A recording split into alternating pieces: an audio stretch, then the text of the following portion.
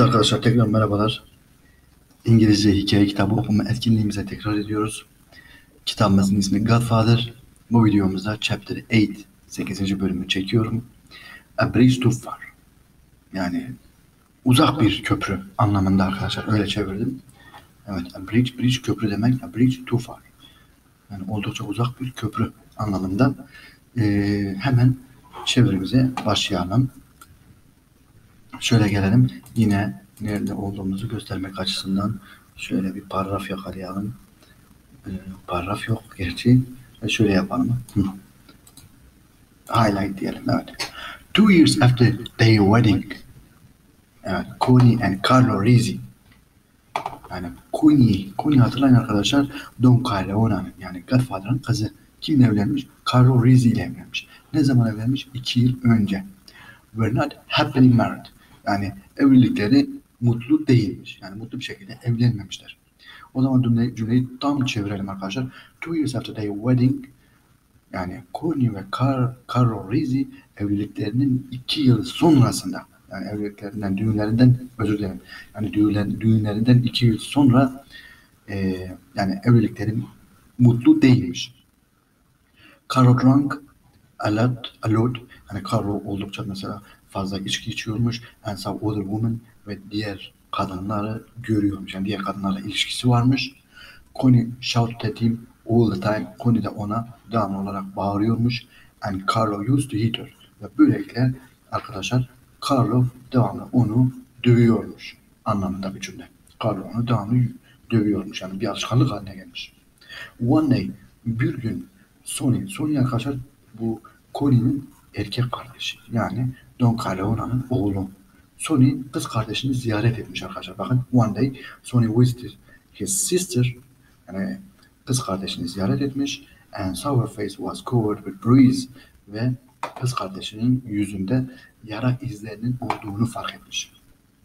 Evet, yara yüzleri yani yara izlerinin ya, ya, yani yara izleriyle kaplı olduğunu görmüş. Yani kız kardeşinin yüzünün yara izleriyle kaplı olduğunu görmüş. He became angry ve oldukça kızmaya başlamış. And although Connie tried to stop him, he rushed away to find Carlo. Yani Connie onu durdurmak istemesine yani durdurmaya çalışmasına rağmen evet he rushed away yani aniden evden çıkmış. Carlo'yu bulmak için aniden evden çıkmış arkadaşlar. Ne yapıyoruz? Arkadaşlar burayı siliyorum. Burayı okudum. Okuduktan sonra da şu kısma geliyorum. Evet, tam şuradayım. Şuradan şuraya geleyim. Şöyle şuraya geleyim. Hemen highlight. Evet. He found Carlo sitting outside the betting shop where he worked. O Carlo'nun Carlo'yu çalıştığı iddia bayisinin önünde otururken yani otururken değil de önünde outside the betting shop özür dilerim önünde otururken bulmuş. Bakın arkadaşlar şu en son anlamlandırma yaparken yani fiilden son özür dilerim özneden sonraki fiili en son söylüyorum. En son söylemeye çalışıyorum. Yani Türkçe anlamlandırma böyle arkadaşlar. Ee, o yani Carlo'nun arkadaşlar bakın çalışmış yani çalışmakta olduğu betting shop iddia bayisinin önünde otururken yani dışında hem outside yani dışında otururken görüyor. Sony jumped out of his car. Sony hemen arabasından dışarıya çıkıyor and ran quickly towards him ve ona doğru koşar adım gidiyor. Carlo tried to escape. Carlo kaçmaya çalışmış. But Sony dived and caught him by the ankles. Bu arada yani Sony hemen yani zıplayarak arkadaşlar onu e, ankles yani ayak bileklerinden yani ayak bileklerinden demek ki yakalamış. Pulling him down with a crush hemen mesela onu yere çarpmış. Arkadaşlar bir çarpmayla yere çarpmış. Then while Carlo was still on the ground bu arada mesela Carlo yerde uzan yani düşmüş. Yani halen yerdeyken yani Carlo, Carlo halen yerdeyken sonra kicked and hit him. Sonra onu tekmelemiş ve vurmuş. Screaming, screaming at him all the time ve her zaman yani vurarken de aynı şekilde arkadaşlar adamın yere atmış ve yerde vurarken döverken onu aynı zamanda da mesela bağırmış ona. Carlo didn't try to fight. Bu arada Carlo arkadaşlar yani karşılık vermemiş. Yani didn't try. Yani karşılık vermeyi denememiş. He stayed on his knees. Yani dizlerinin üzerinde durmuş and covered his head with his hands. Elleriyle kafasını yani yüzünü kapatmış. Finally sonunda Sony tired. Sony yani vura vura arkadaşlar yorulmaya başlamış. He looked down at Carlos bruised and bloody body and said yani Sony yerde bulunan Carlo'nun yaralanmış yüzüne yani kanlar için yaralanmış ve kanlar içerisinde kalmış olan yüzüne bakmış ve demiş ki If you ever touch my sister again, eğer sen bir daha benim kız kardeşime dokunursan, I will kill you, seni öldürürüm. Yani seni öldüreceğim anlamında bir cümle kullanmış. A few weeks later, yani birkaç hafta sonra the telefon rang, telefon çaldı in the kitchen of Don Corleone's house. Yani Don Corleone'nin evinin mutfağında bulunan telefon çaldı. Sony was called to the phone. Sony telefona çağrıldı. Hizmetçiler tarafından zannedersem. It was Connie. Yani kız kardeşiydi telefondaki. And she was crying ve ağlıyordu. Carlo had hit her badly. Carlo yine onu arkadaşlar kötü bir şekilde dövmüştü. And she wanted to come home. Ve eve gelmek istiyordu kız kardeşi. Evet. As he listened, yani Tony bunları duyarken arkadaşlar Son, Sony's face went red. Sony'nin yüzü kıpkırmızı oldu. Yani ben mutlu şey ve titremeye başladı yani kızgınlıktan. I'm coming right over. Hemen geliyorum oraya. He told his sister. Ve kız kardeşine dedi. Just wait there. Sa- sadece orada kal. Yani orada beni bekle gibisinden arkadaşlar. Just wait there. Orada bekle. Burada kız ne demeye çalışmış? Please Sony don't. Yani derken yani lütfen Sony gelme derken Connie Bergen yani diye başlamış cümle. But Sony put down the phone. Fakat Sony hemen telefonu kapatmış. And run straight out of the house. Ve aniden evden dışarıya çıkmış arkadaşlar. Neredeyiz? Şuraya gelelim. Şunu kapatalım. Şöyle şurayı çevirelim. Tom Hagen tried to stop him. Arkadaşlar Tom Hagen de Sony'nin kardeşi tried to stop him. Onu durdurmaya çalışmış. But Sony refused to listen. Fakat Sony hani dinlemeyi kabul etmemiş. As Sony drove quickly out of the gates, Sony yani hızlı bir şekilde kapıdan dışarıya çıkarken Tom told two bodyguards to follow him. Tom bu arada arkadaşlar iki yani korumasına onu takip etmesini söylemiş. Between Long Island and the city of New York yani between Long Island, Long Island özel isim yani Long Island, Long Island'la yani New York şehri arasında there was a kind of bridge yani bir köprü varmış arkadaşlar. Yani bir çeşit bir köprü varmış. Before anyone could cross yani, yani birinin bu köprüyü geçmeden önce they had to stop at the toll booth yani bu jeton atma. Ee, özür dilerim. Şurayı. Jet, jeton. To stop. At the toll booth yani jeton kutusunun önünde durması gerekiyor. And pay ve ödemesi gerekiyor. When Sony arrived at bridge Sony e, yani köprüye vardığında only one toll booth was open. Sadece açık olan bir jeton bölümü. Yani ödeme noktasının ödeme noktalarının sadece bir tanesi açılmış. He had to wait because another car was in front of him. Yani önünde bir araba var ve bunu beklemek zorundaydı. Yani, yani arabayla yanaşmış arkadaşlar ve önünde bir araba var ve bu arabayı beklemek zorundaymış. Sony impatiently looking for someone, some money in his jacket. Sony arkadaşlar bu arada mesela impatiently hemen ceplerini eline atarak mesela sabırsızca ellerini cebe atarak bozuk para aramaya başlamış. Evet. Buradan geçiyorum buraya. Evet. Şuradan şuraya kadar geliyorum. The car in front of Sony. Yani Sony'nin araba, yani Sony'nin önünde bulunan araba drove forward a little way. Yani sadece birazcık öne doğru gitmiş. And stop ve durmuş. Sony drove up to the booth. Sony o da mesela yani bu ödeme noktasına doğru hareket etmiş. He gave the man inside his money. He gave the man inside inside his money and tried to drive away. Yani Tony arkadaşlar içeride bulunan adama parasını vermiş and tried to drive away uzaklaşmaya yani hareket etmeye çalışmış. But the car was still in front of him. Fakat araba, öndeki araba gitmemiş. Halen onun önünde. Yani parasını vermiş o adam gitmesi lazımken o araba but the car was still halen onun önündeymiş. The man in the booth dropped the money. Bu arada arkadaşlar yani bu toll booth denilen yani ödeme noktasının kulübesinin içerisinde bulunan adam dropped money and bent down to pick it up. Yani parayı yere düşürmüş ve onu eğilmek için yani onu almak için eğilmiş. Evet. From the corner of his eye hani hemen gözünün bir köşesine ilişmiş. Ne ilişmiş? So he noticed something moving in the empty tollbooth on his right. Sony arkadaşlar sağda bulunan bu ödeme kulübesinin içerisinden bir adamın hareket ettiğini görmüş. Boş olan ödeme kutusunun içerisinde bir adamın hareket ettiğini görmüş. He looked round ve etrafına bakmış and saw four men standing in the windows, windows looking at him. Ve etrafına bakmış ve hemen dört adamın kendisine doğru baktığını görmüş. He looked around, etrafına bakmış and saw four men standing in the windows. Yani arabanın penceresinin yanında dört tane adamın kendisine baktığını görmüş. At the same moment, tam o anda two men got out of the car in front e, yani önde bulunan arabadan iki adam dışarıya çıkmış and began to walk towards him ve ona doğru yürümeye başlamış. They were carrying machine guns. Yani bunlar uzun namlulu otomatik silah taşıyorlarmış arkadaşlar.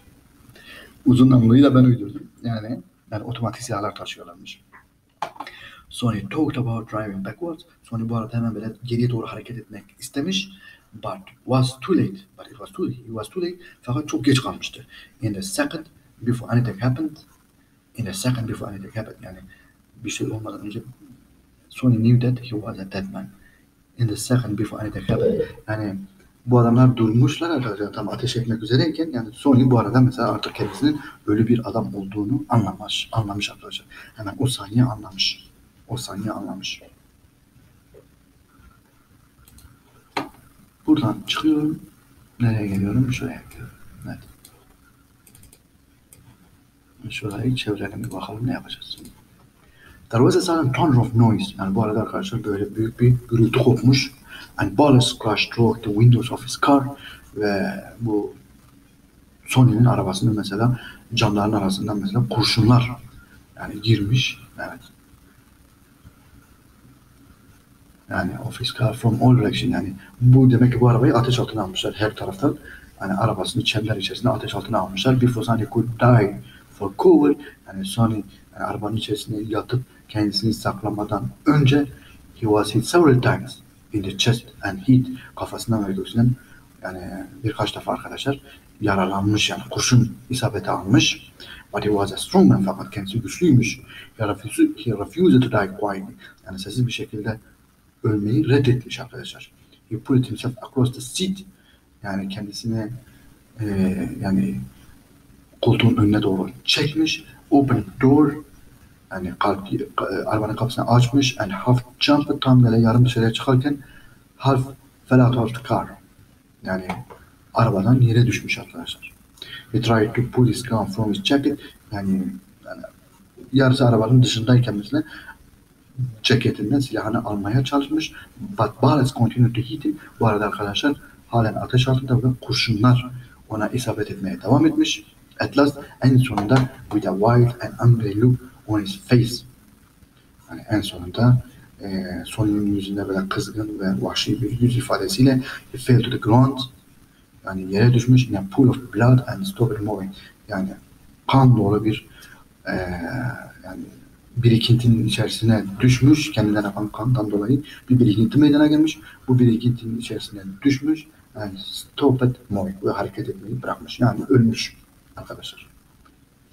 By the time the bodyguards that Tom had sent to follow him arrived, by the time the bodyguards that Tom had sent to follow him arrived. Tam bu arada bu arada arkadaşlar Tom'un onu takip etmesi için evet Tom diğer kardeşi Tom hani Tom'un Sony'yi takip etmesi için göndermiş olduğu iki bodyguard yani iki koruma o arada o olay yerine varmışlar arkadaşlar.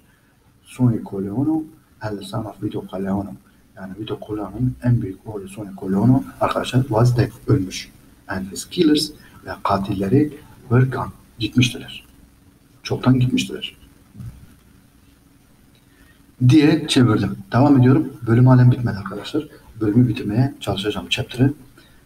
Ne yapıyoruz? Devam ediyoruz. Şuradayız.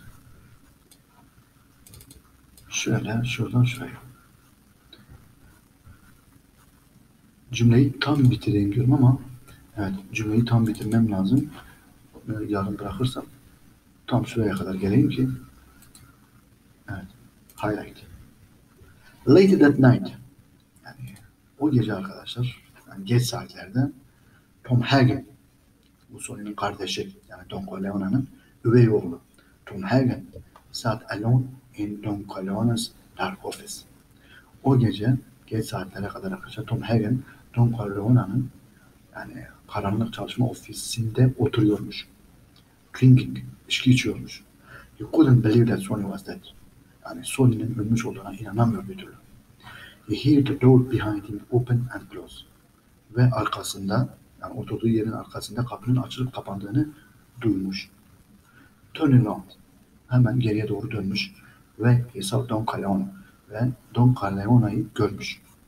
He looked very old and tired as he walked stiffly across the room. Yani o Don Corleone arkadaşlar odadan yani bir tarafından bir tarafına doğru hareket ederken yani yaşlı ve oldukça yorgun olduğunu görmüş. Yani ya- yaşlı ve oldukça yorgun, yorgunmuş yani. Kim? Don Corleone arkadaşlar. Çünkü kendisi yaralıymış bakın. Daha önceden daha önceki bölümlerde hatırlayacaksınız. Bunu da mesela ateş çemberi içine almıştılar, ya- yaralamıştılar. He looked very old and looked göz, gözükmek arkadaşlar. Yani bakmak anlamında değil aynı şekilde. He looked very old and tired. Yaşlı ve yorgun gözüküyordu. As he walked still across the room. Yani yavaş yavaş böyle ağır adımlarla mesela oda, odanın diğer tarafına geçerken. He had lost weight. Yani kilo vermişti. And his clothes hung loosely from his body. Ve giymiş olduğu elbiseler böyle hani vücudundan dökülüyordu. Evet. Dökülüyordu arkadaşlar. Burada mesela ne diyor? Give me some wine, he said as he lowered himself slowly into his favorite leather armchair. Demek ki Don Corleone yani kendisini mesela o e, sevmekte olduğu deri koltuğun üzerine yavaşça bırakırken yani otururken bana biraz şarap ver dedi. He waited while Tom poured him a drink. Yani Tom'un ona bir içki doldurmasını bekledi.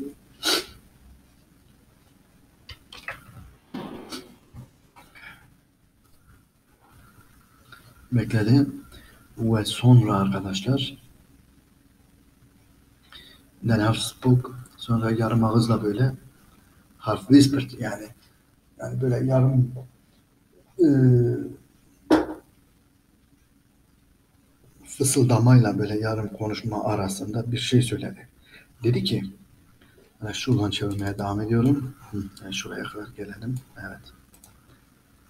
Dedi ki ne dedi bakalım. My wife was crying before she fell asleep. Yani karım uyumadan önce ağlıyor. Ağlıyordu. Outside my window ve penceremin dışında I saw Tetsu and Clemenza coming to the house and it's midnight. Yani ben diyor Tetsu ve Clemenza'nın yani bu gece yarısında evime geldiklerini gördüm. So Tom demek oluyor ki Tom I think you should tell your Don what everybody already knows. Zannedersem Tom yani sen bana herkesin bildiği şeyleri bildiği herkesin bildiğini yani bana da söylemelisin. You should tell. Yani söylemelisin. I was about to come up. Yani sana daha yeni yani sana gelmek üzereydim. And tell you mesela yani sana gelip söylemek üzereydim. Tom dedi. Dedi arkadaşlar. But you needed a drink first. Fakat bir içkiye, önce bir içkiye ihtiyacın var. Yes. Tom looked down, ashamed. Yani Tom bu arada arkadaşlar yani böyle yani utan, utanarak yere baktı arkadaşlar. You have had your drink. You can tell me now. Sen de içkini aldın şimdi bana söyleyebilirsin. Buradan arkadaşlar şu kısma geçiyorum.